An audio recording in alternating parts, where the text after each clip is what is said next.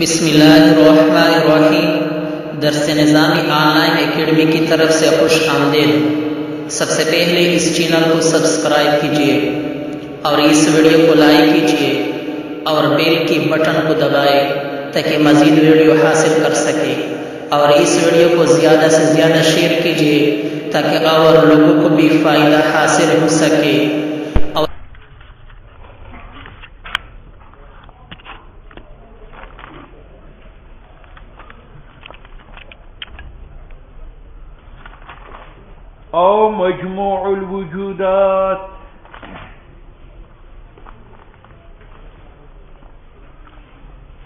मुसनफ अव्वल मसला भी बयान कर रहा है कि मुमकिनात कुल के कुल क्या है मौजूद मुसनफ ने अलकुलियात वलजुजियात में इशारा किया था और काजी ने एक तवील तमहीद बयान की कि वजूद मुनजम नहीं है बल्कि मुंतज़ा मुंजम नहीं है, इसकी दलील गुजर चुकी है।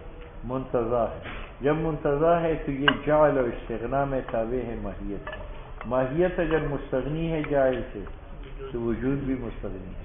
और माहियत अगर मुख्ताज है जायल को तो वजूद भी है। पहला माहियत वाजिब है, और दूसरी माहियत ठीक है? मुमकिन है। वो मुख्ताज इलल जायल नहीं है। और ये? इलल? ये तो दरमियान में एक मसला था कि अल्लाह का वजूद मालूल नहीं है, ज़ाती बारी ताला की क्योंकि अगर ज़ात इलत हो जाए वजूद का तो हर इलत मालूल से पहले मौजूद होती है।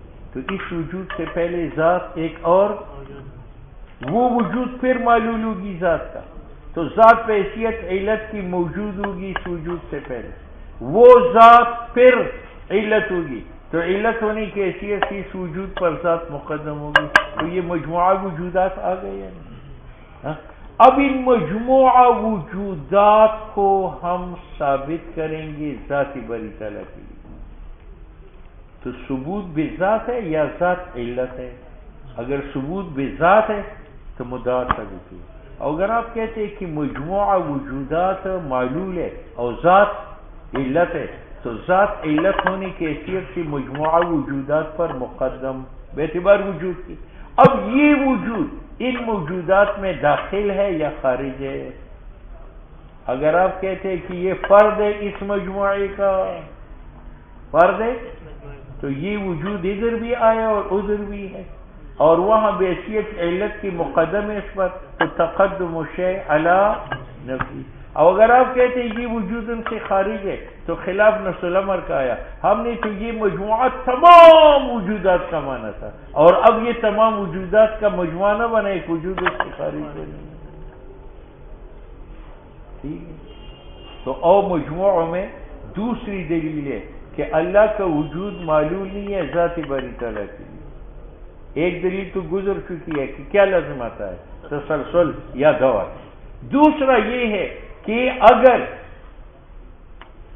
इस वजूद से ज़ात का वजूद मुकदम हो इस वजूद से ज़ात का वजूद मुकदम हो इससे ज़ात का वजूद मुकदम हो इससे ज़ात का वजूद मुकदम हो तो ये वजूदात गैर मुतनाहिया का हम ऐसा मजमु बनाएँगे जिससे एक वजूद भी खारिज ना हो।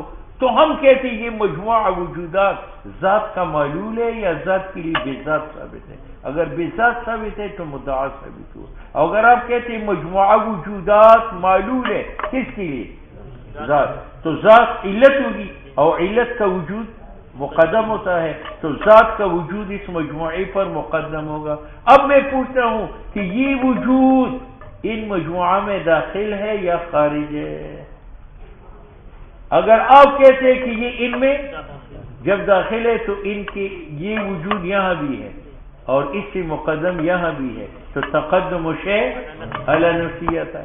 और अगर आप कहते हैं ये वजूद इन वजूदात मजमुआ से खारिज है तो खिलाफ भी मफरूज आता है। मफरूज किया था? कि ये मजमुआ था, तमाम वजूदात का ये एक वजूद भी खारिज नहीं था और यहाँ एक वजूद खारिज हुआ।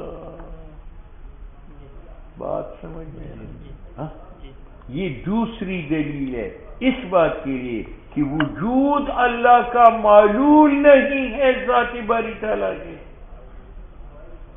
क्यों नहीं है? एक दलील गुजर चुकी है कि फिर दौर और तसल। और दूसरी दलील ये है कि अगर वजूद मालूल हो जाए तो यहाँ कई वजूदात आएँगे। इन तमाम वजूदात गैर मुतनाही का हम क्या बनाएँगे? मजमुआ? तो ये भी मालूल बनेगा जाती बारी तला का।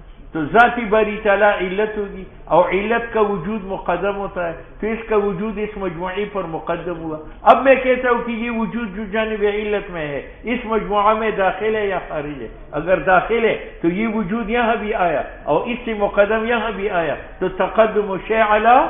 और अगर आप कहते हैं, ये वजूद इन मजमुआ से खारिज है तो खिलाफ मफरूज आया। मफरूज तो ये था कि ये मजमुआ उन वजूदात का है जिससे एक भी खारिज नहीं। खारिज नहीं। और यहाँ एक खारिज हुआ। और दोनों बातें मालूम हुआ कि वजूद मालूम जाति बारी तला का नहीं है बल्कि ऐन है। जाति बारी ताला।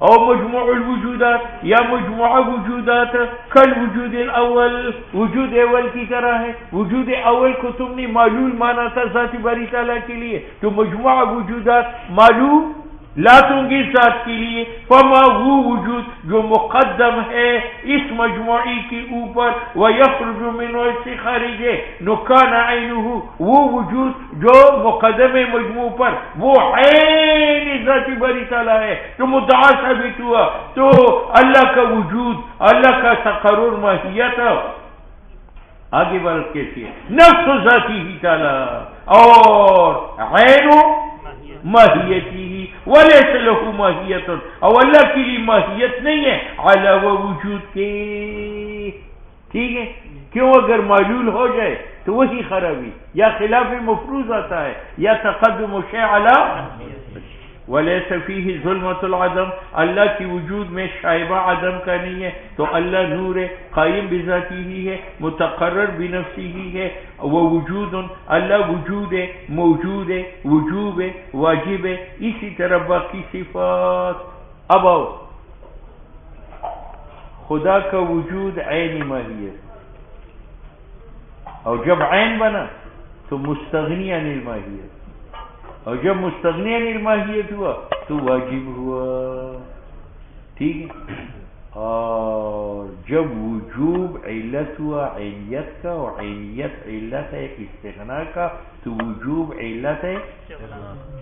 और जब वजूब इल्लत इस्तेगना का बना तो वजूब का जो नकीज इम्कान है, वो इल्लत है किसका?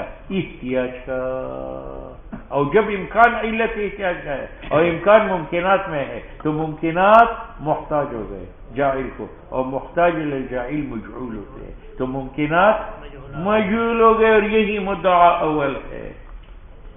और इम्कान फ़र्स्ट माहियत इम्कान का, जो सल्व ज़रूरत है माहियत का वजूद का, और सल्व ज़रूरत ला माहियत ला वजूद का। ये इल्लत ताम है ली इफ्तिकार मुमकिन बेतबार नफ्स हकीकत की वह यतबीहू और इफ्तिकार नफ्स हकीकत का ताबे इफ्तिकार फिल वजूद इला मुजिबिन। तो मुमकिन इल्लत इम्कान का इल्लत इफ्तिकार का कौन हुआ? इम्कान। और इम्कान तमाम मुमकिनात में है। तो तमाम मुमकिन मुफ्तकिर है। इलल जाइल और मुफ्तकिर इलल जाइल मजहूल होता है। तो तमाम मुमकिनात इसके बाद मुसन्फ साबित करेगा कि जाइल मुमकिनात का कौन है? एक अल्लाह। वो चल गया। дома стоянка